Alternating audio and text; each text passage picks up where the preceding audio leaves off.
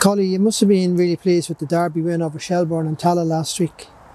Yeah, it's a good result. Um, particularly them being the, the double champions from last year. Um, it's nice to see how we have we've developed and grown over the last couple of months. So um, to have such a such a good result is is important to the group to, to gain confidence going into this weekend. And the first two goals were from outside the box, and the third was an excellent team move played out from the back. Uh, will you take confidence from that to hopefully hurt Shells the same way again on Saturday? Yeah, absolutely. Uh, particularly the third goal. It's um, it's become our trademark over the last couple of games, particularly since the break. I think we've worked really, really hard on a lot of patterns of play, so it's it's always nice to see it when it comes off. And the team had to defend for large spells of the second half. Uh, what are Shelbourne's threats uh, um, we should be watching out for in the rematch? Yeah, you threats everywhere. It threats all over the park. Um, I think Mega Lynch is a good player, but Noelle is probably one of the main threats that they have. She's very clever footballer. She's a real streetwise footballer. That if you switch off for half a second, she can hurt you. So um, there's a lot of threats, particularly then as well around set pieces when when Pearl comes off for set pieces. So um, yeah, there's there's a lot of threats that we'll have to deal with.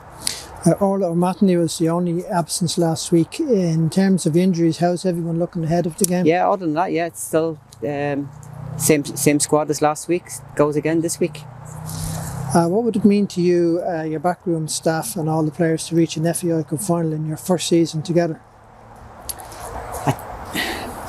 It's one. It's it's not even for, for me or or the, the the staff. It's more for the for the players for all the hard work that they've really put in. They've um, listened to everything that me, Kieran, and Orla have thrown at them over the last couple of months. They've worked extremely hard. They've got better and better. Um, absorbed an awful lot of information, and they're playing football in a in a way that they've never played before. So it's more. Um, I would get have great pride and, and, and delight for them to get that they get the rewards that they deserve. Uh, finally, you and the team have spoken throughout the season about how the fans always play a part, and this feels like a big occasion. So, would a good crowd in Tallaght give us a bit of an edge? Absolutely. You could see it last week with when Shells brought their crowd.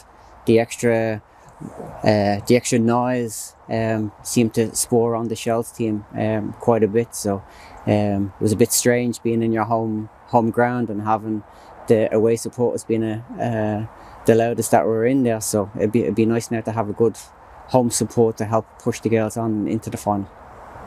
Thanks, Colin. Thanks, Robert.